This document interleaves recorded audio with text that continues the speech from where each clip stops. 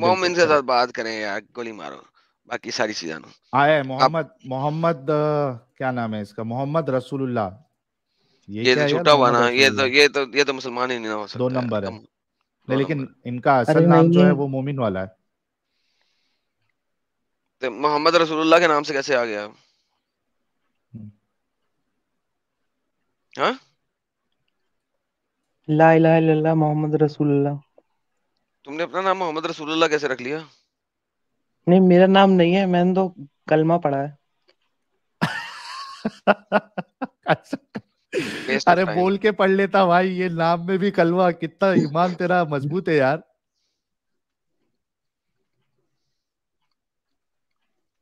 Okay सूर्य फातिहा सुना दो जरा। अरे मैं अल्हम्दुलिल्लाह रब्बिल आलमीन रहमान रहीम मालिक यौमिद्दीन। नअबुदु व इय्याका नस्तईन इहदिना सिरातल मुस्तकीम सिरातल लज़ीना अनअमता अलैहिम गैरिल मगदूबी अलैहिम वलद्दालिन ओके चलिए बहुत शुक्रिया अच्छा आज का जो टॉपिक है आपने देखा हाँ देखा थोड़ा बहुत अच्छा आ, आपको क्या लगता है बिग बैंग पता है आपको क्या है जी जी जी मैं फिजिक्स का पढ़ा मैं फिजिक्स पढ़ाता हूँ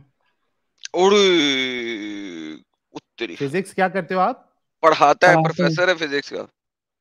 ओए होए हो यार चलो आज मेरा दिल खुश हुआ और इनके आते ही चार हज़ार लाइव व्यूवर्स हो गए हैं। सभी लोग आज एक पढ़ा लिखा फिजिक्स वाला मोमिन आया है जिसका ईमान इतना पक्का है कि उसने अपने आ, जो डीपी नेम है उसमें भी उसने दरूद लिखा है मोहम्मद रसूलुल्लाह। तो आई एम श्योर के एक बहुत अच्छी डिस्कशन होगी एक इल्मी गुफ्तु होगी। और एंड क्या होगा हम सब देखेंगे तो चार हज़ार लोग जितने देख रहे हैं फटाफट वीडियो को लाइक और शेयर करें। यस मोहम्मद रसूलुल्लाह साहब। तो सर यार आपका नाम चेंज करके अब्दुल रख दू? क्योंकि बोलना डिफ़िकल्ट होगा। मोहम्मद बोल लिया ना? इनका नाम में। यार फिर लोग अच्छा, गालियाँ निकालेंगे यार। फिर लोग गालियाँ निकालेंगे अब्दुल रख देते अब्दुल। अब्दुल सही रहेगा। अब्दुल रख दें वो फिर मसला हो जाएगा फिर मुसले आ जाएँगे कह देंगे तुमने मोहम्मद को कुछ कह दिया। हाँ भाई थोड़ा शॉर्ट में हमको बताओ कि बिग बैंग क्या है? बिग बैंग थियरी अरे एक सिंगुलैरिटी की पोजीशन थी उससे एक्सपेंड उससे एक्सपेंड हुआ बहुत जल्दी। कोई बैंग हुआ बहुत बड़ा जिसका कोई रीजन नहीं जानता। है सुभान अल्लाह माशाअल्लाह माशाअल्लाह माशाअल्लाह अच्छा बैंग में धमाके की आवाज़ थी? बैंग हम्म। कहते हैं ना आवाज़ को बैंग बैंग पटाख!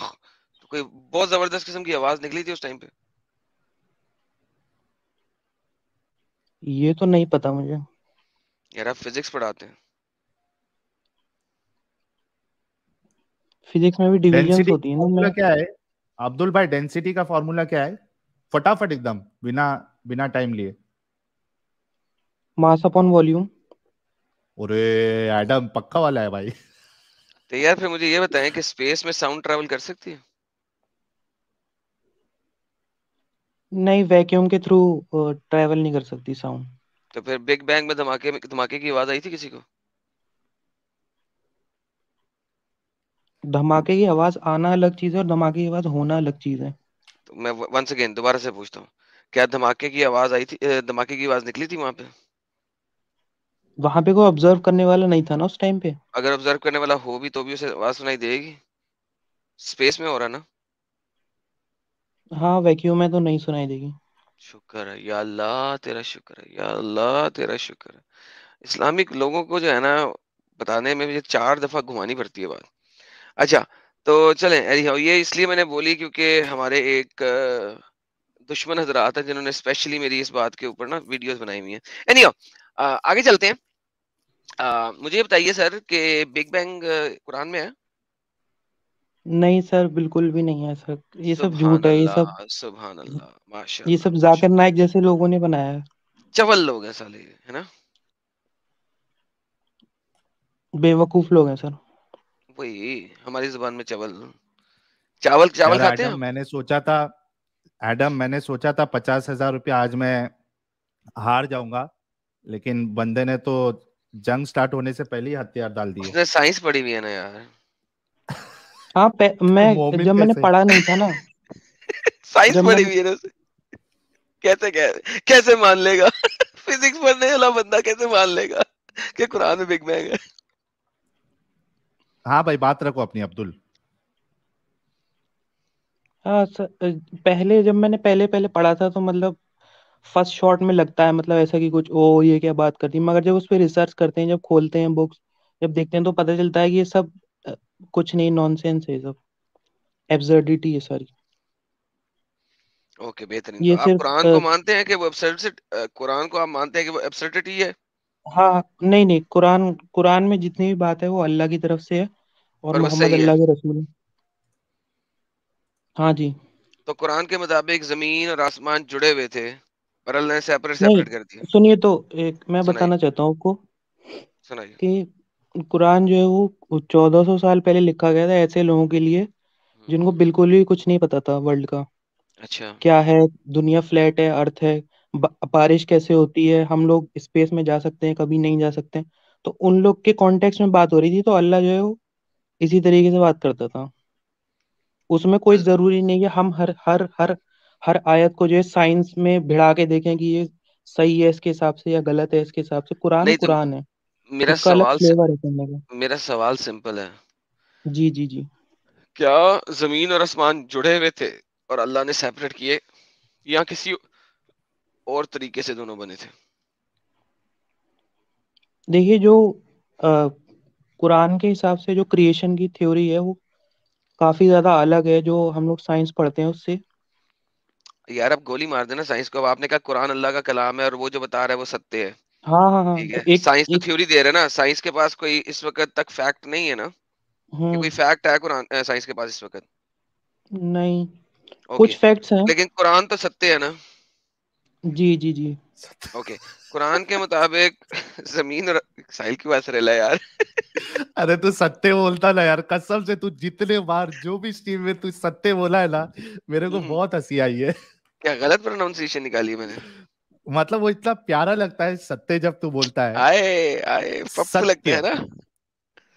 अबे मुश्किल ना ना कर सत्य। यार मुश्किल कर रहा है तू अब ये। अब मुश्किल कर रहा है ऐसे नहीं ठीक है करना। चल सत्य ही बोल तू सत्य अच्छा हाँ, लगता हाँ है तेरे मुँह से सुनना। वो मुश्किल नहीं करना लफज को मुश्किल हो जाएगा। आज तक अरबी नहीं सही पढ़ सके हिंदी कैसे सही पढ़ेंगे? अच्छा तो भाई कुरान तो सत्य है ना? हाँ जी। ओके। कुरान के मुताबिक ज़मीन और आसमान बाहम मिले हुए थे। जी जी जी। अल्लाह ने अलहदा कर दिए हाँ।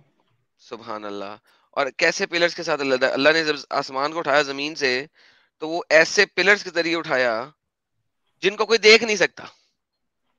यानी कि इनविजिबल पिलर्स हैं। हाँ तो कुरान जो है वो एक तरीके से एक पोइट्री की किताब है तो उसको उसी तरीके से पढ़ना चाहिए। हर चीज़ बिल्कुल लिटरल नहीं है उसमें। मतलब अल्लाह अपनी अच्छा ग्रेटनेस एडम दिखाने के लिए उससे पहले एडम अल्लाह अपनी ग्रेटनेस बताने के लिए। अब्दुल अब्दुल एक मिनट रुको। एडम पिलर पे जाने से पहले मेरा एक सवाल है कि यहाँ पे ये आसमान से क्या मुराद ले रहे हैं? इस आयत में। ओके आसमान से आप क्या मुराद ले रहे हैं कर दे। ओके मैं आयत प्रेजेंट कर देता हूँ। आपने कौन सी करनी है? मैं इक्कीस की तीस कर रहा हूँ। चलेगी? हाँ इक्कीस की तीस ही करनी है। हाँ हाँ। नहीं जी इक्कीस की तीस आ गई। हाँ भाई। यहाँ आसमान जो लिखा हुआ है क्या वो लोग जिन्होंने इनकार कर दिया है गौर नहीं करते कि ये सब आसमान और ज़मीन बाहम मिले हुए थे? इधर आसमान से आप क्या मुराद लेते हो? ये जो हेवंस लिखा हुआ है ना इसका हाँ। मतलब है जो हेवेंस तो उन्होंने है इंग्लिश में लिखा है ना। उर्दू में जी जी। और अरबी में तो आसमान है। आसमान है ना। उर्दू जी में हम आसमान। हेवंस जो होती है वो वो तो नहीं है ना यहाँ पे? समावात है। ओ सॉरी मैं एक सेकंड ये स्काई स्काई अस्काए बेहतरीन। तो अस्काए किसे कहते हैं आप? आसमान को मतलब जो जब हम लोग ऊपर देखते हैं जब ऊपर की तरफ़ नज़र करते हैं तो हमें जो ब्लू ब्लू दिखाई देता है बड़ा सा वो आसमान है हम्म, कुरान के हिसाब से। बस जो जो प्रिमिटिव लोग थे उन लोग को इतनी नॉलेज थी इससे ज़्यादा उनको कुछ पता नहीं था कि ऊपर होता क्या है तो तो कुरान अल्लाह ने ऐसे ही सेवेंथ बोल दिया। सेंचुरी प्रिमिटिव लोगों के लिए उतरा ना।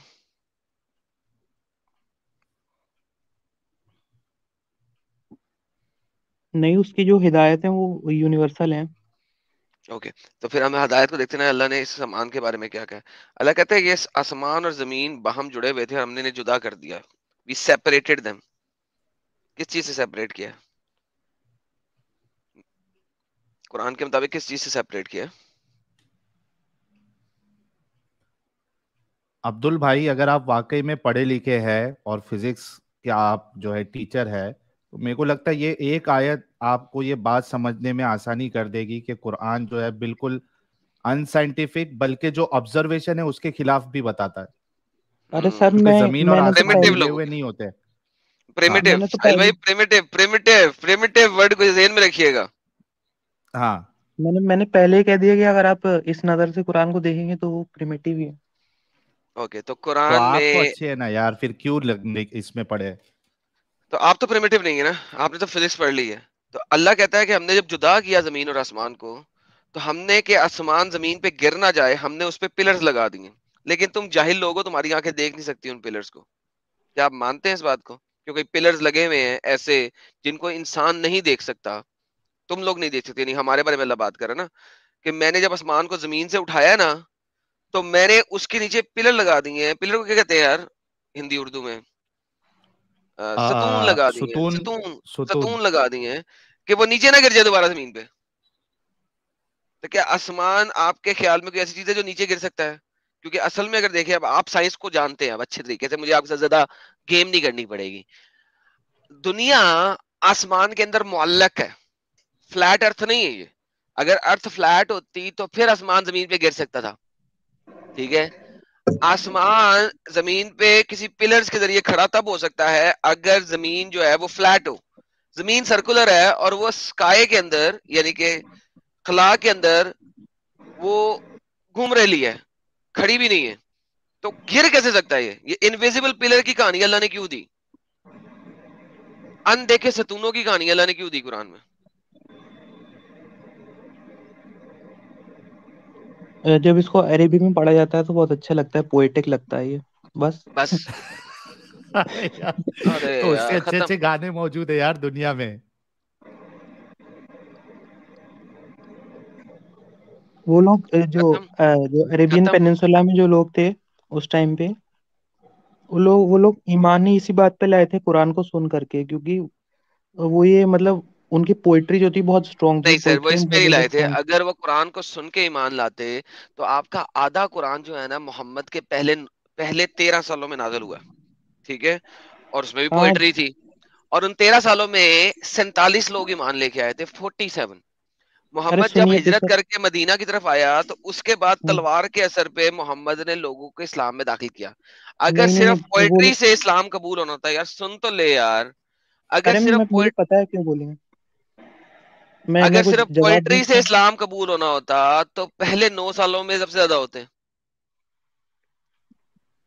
हाँ तो जो डिसबिलीवर थे जो काफिर थे वो कुरान सुनने से बहुत ज़्यादा डरते थे। और अल वलीद बिन मुगीरा ने कहा था कि मैं सारे इंसान और सारे जिन्नात की शायरी जानता हूँ ये उसमें से कुछ भी नहीं है। These words can dominate everything and nothing can dominate these words वो तो सबसे बड़ा मक्के का फिर मुझे बताएँ तलवार के आने से पहले क्यों नहीं हुआ? अरे लोग नहीं मानते जीसस क्राइस्ट ने इतने इतने सारे मिरेकल दिखाए थे लोग मान गए थे क्या? जीसस क्राइस्ट ने मुर्दे को ज़िंदा कर दिया। दिखाया।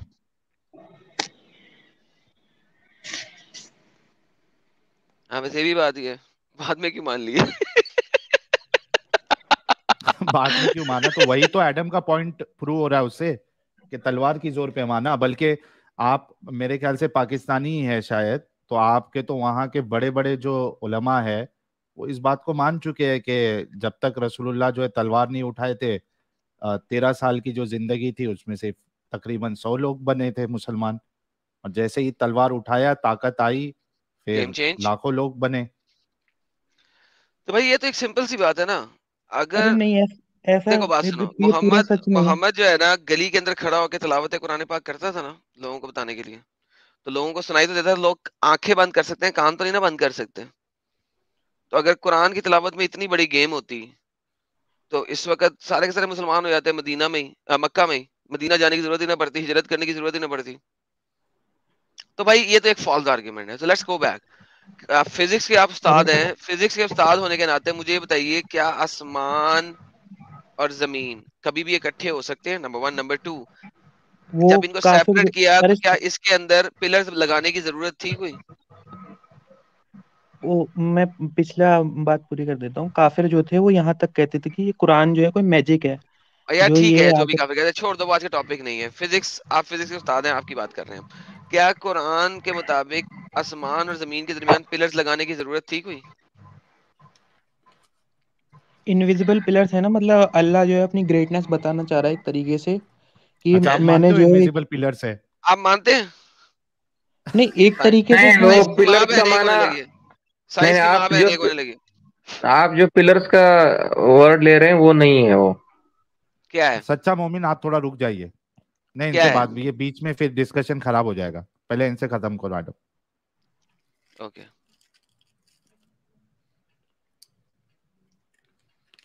जी भाई।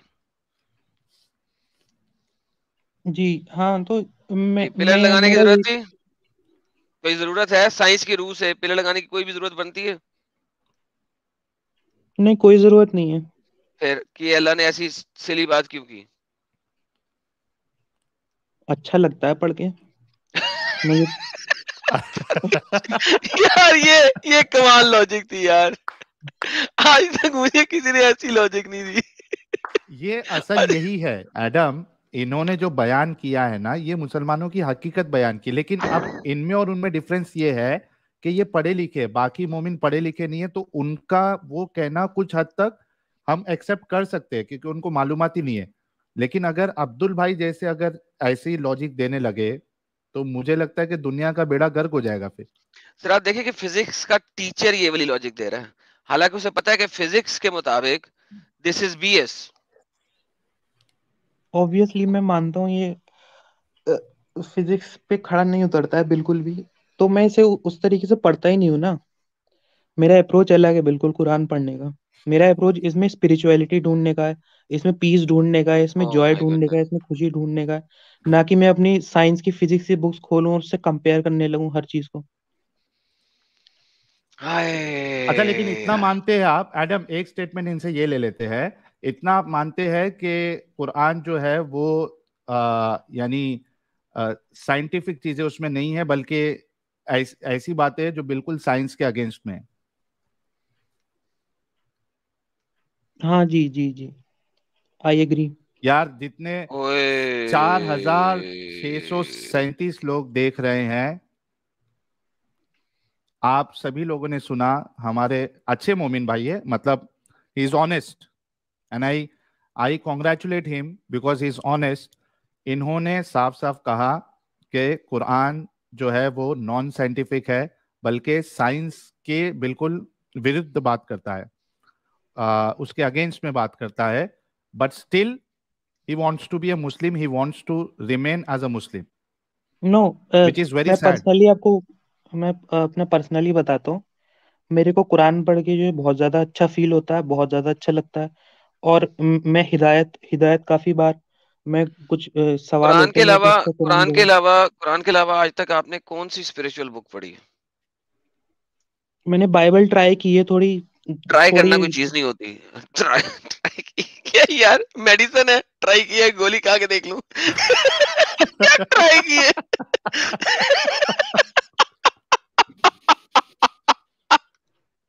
ये ट्राई क्या होता है यार? मतलब कुरान का अलग ही स्टाइल है ना वो वाले वो वाली बात नहीं है। ना तो अगर आपने सॉन्ग्स ही पढ़ने थे तो साम्स पढ़ोगे ना। अगर म्यूज़िक पढ़ना है सॉन्ग्स पढ़ने हैं अगर सॉन्ग सुनने हैं तो फिर उसके लिए आपको साम्स पढ़ने पड़ेंगे जबूर। हाँ बाइबल तो बाइबल तो म्यूजिकल नहीं है ना। आपको म्यूज़िक पढ़नी थी ना। आपने सॉन्ग्स पढ़े सॉन्ग्स साम्स पढ़े? मैं मानता हूँ कि वो भी अल्लाह की तरफ़ से ही है। मैं तो मानता हूँ आपने? आपने पढ़े साम्स पढ़े? तो पढ़ना था ना फिर। पहले देख भाई कंपेयर करने के लिए आपको एप्पल टू एप्पल के साथ कंपेयर करना ना एप्पल टू ऑरेंज के साथ तो कंपेयर नहीं करना ना। ये तो फ़र्क है आप में और मुझे मैं पूरी बाइबल को मानता हूँ कि वो अल्लाह की तरफ़ से है। मानते हैं तो फिर कुरान अल्लाह फिर यार अगर बाइबल को मानते हैं अल्लाह की तरफ़ से तो बाइबल में जो लिखा है वो कुरान के ऑपोजिट है। अरे सब ये क्या बोलते हैं पादरियों ने भी तो बहुत हाथ लगाया उसमें बहुत चेंज किया है। अब आप अब देखो फिर अल्लाह की किताब चेंज कैसे होगी? अल्लाह तो कहता है ला तब्दीला कलाम कलामतुल्लाह। ला और फिर अल्लाह कहता है कि ला मुबद्दिला कलामुल्लाह। तो अल्लाह तो बोलता है कि मेरा कलाम कोई भी बदल ही नहीं सकता कोई चेंज नहीं कर सकता। ला तब्दील भी आया ला मुबद्दिला भी आया। ना चेंज कर सकता है ना तब्दील कर सकता है। तो अगर चेंज और तब्दील नहीं हो सकता तो कुरान एडम के लिए आई एम वो सॉरी मैं इंटरप्ट कर रहा हूँ। एक मिनट एक मिनट हमारे अब्दुल भाई एक मिनट रुको। एडम ये कंटिन्यू करना तुम। लेकिन एक पॉइंट हमारा रह गया पूछना। सॉरी वो ये है कि कुरान के हिसाब से इनको पूरे कुरान पे जैसे कि इन्होंने कहा ना कि मैं मानता हूँ मैं मानता हूँ तो कुरान के हम्म। हिसाब से तो इनको पूरा कुरान मानना पड़ेगा। हम्म। तो इस हिसाब से इसको जो अनसाइंटिफिक बातें हैं वो भी मानना पड़ेगा पहले तो। बिल्कुल। तो इसमें ये कैसा बोलेंगे? मतलब ये पढ़े लिखे रह के अनसाइंटिफिक चीज़ों को भी मानेंगे चूँकि वो कुरान में है तो how does it make sense पहले इसका जवाब ले लेते it doesn't make sense at all right agree करते हैं ना आप इस बात से अब्दुल भाई? भाई। मैं उस वे में नहीं देखता हूँ भाई मैं हर चीज़ को लिटरल नहीं लेना चाहता हूँ। कुरान को मैं पूरा लिटरल नहीं लेना लेकिन चाहता हूँ। मैं ये मान मैं ये मानता हूँ कि ये जो कुछ भी है एक सुनिए तो सुनिए तो and Imran nonsensical Sue, practically सूरह सूरह सूरह इमरान की आयत है कि इसमें बहुत सारी आयतें जो है वो मुतशाबिहात हैं बहुत सारी आयतें इनफ फेयर इनफ कौन सी वाली? क्या अल्लाह ने बयान किया? देखो मैं आपको सिंपल सी बात बता देता हूँ। देखो इसको इसको सिंपल लॉजिक किस तरीके से लेते हैं? आप किसी भी यहूदी के पास चले जाओ जो तौरात को यकीन करते हैं जी जी। आपको टक करके बता देंगे जी ओल्ड टेस्टमेंट के अंदर पाँच किताबें हैं जो कि लिटरल नहीं है। टक करके बताएँगे।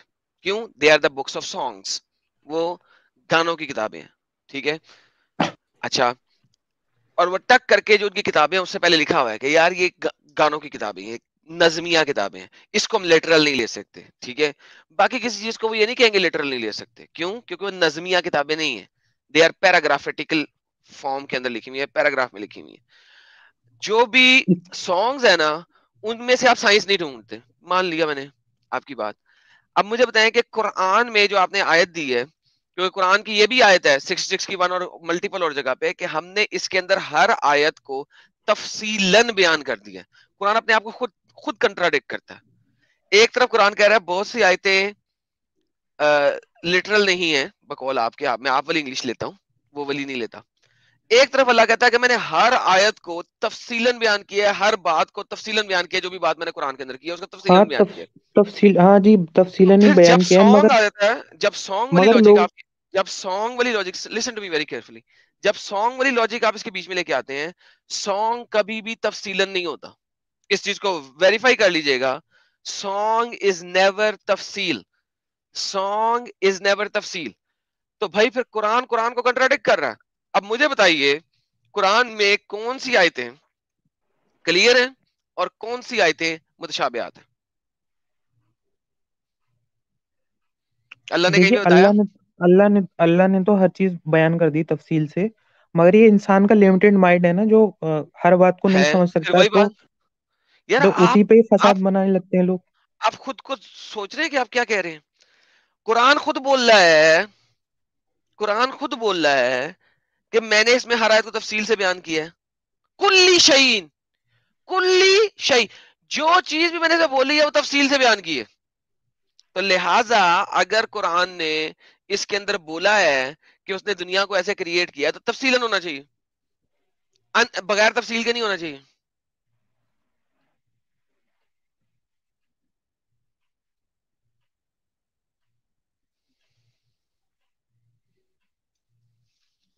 जी भाई आई एम स्टिल वेटिंग क्या सवाल है आपका? हैं? आप मेरी बात नहीं सुन रहे थे क्या? टाइम वेस्ट कर रहे थे?